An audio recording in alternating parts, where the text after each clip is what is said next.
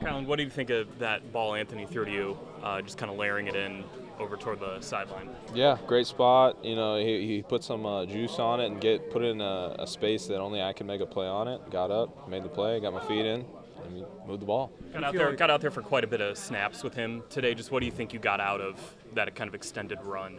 Yeah, just this uh, this last stint before you know we strap it up and Jacksonville comes into our house. So I think it was the last you know quick tighten of the screws before we hit the ground running. In particular, the last two weeks, having the joint practice opportunities at home here, then of course this game. What strides have you seen Anthony take in particular over that period of time? Um, just uh, his veterancy. I can see it coming in. Um, he's just looking more and more comfortable. The play calls are coming in quicker. Um, he's able to check in and out of things depending on what he sees. Um, so yeah, it's just kind of flowing better, flowing easier, and uh, I feel like we're just meshing better as an offense right now.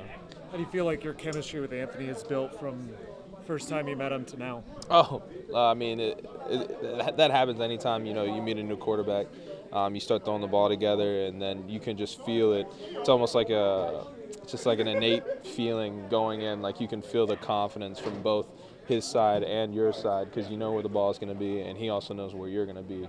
So I feel like it's a confidence that works both ways. I'm not sure if it picked up on the microphone, but we just heard a big chuckle back there from Drew Ogletree. Yeah. How good was it to have him back making some big plays out there today? It was good. It was good to see him. You know, uh, he had a few big plays today. I was excited for him to see him back out there trucking people. Uh, yeah, it was good. It's always good when we got all the tight ends out there. We we were eating today. I mean, everybody. It was me. It was Will. It was Drew. It was Pharaoh. It was Mo. Like we were eating like it was a feast. So it was a fun time. That's exactly something that I asked Coach Steichen about was the amount that you spread the ball around to the tight ends today and just how difficult some of these decisions are going to be. He said guys across this position group have really made the most of the opportunity. How proud have you been of this group stepping up because you guys have battled through a lot over the course of the preseason? Yeah, I mean, uh, it's it wouldn't be football if it wasn't fraught with adversity. Um, you know, we've we've battled through everybody. Uh, you know, it's a very versatile room. We said that in the beginning,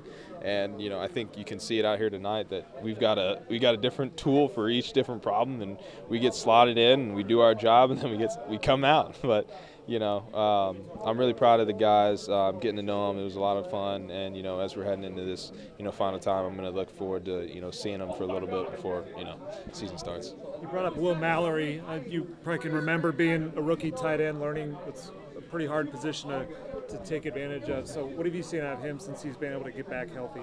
Oh, a lot of growth. Um, you know, it, I know his head's spinning a little bit when he was first getting out there. You know, you're a young guy. Your stuff's moving fast, but I can tell it's already kind of starting to slow down for him a little bit. Um, he's starting to calm down a little bit out there, and uh, yeah, he's, he's doing great.